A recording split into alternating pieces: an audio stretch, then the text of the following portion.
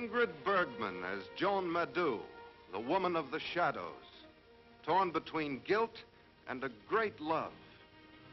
The screen's greatest actress in her greatest performance. Her first appearance in two years.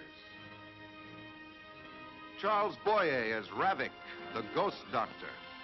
The most forceful role of his career. Charles Laughton as Haake, the enemy Ravic swore to kill. Louis Calhern as Morosov, the royal doorman who whistles his way through life.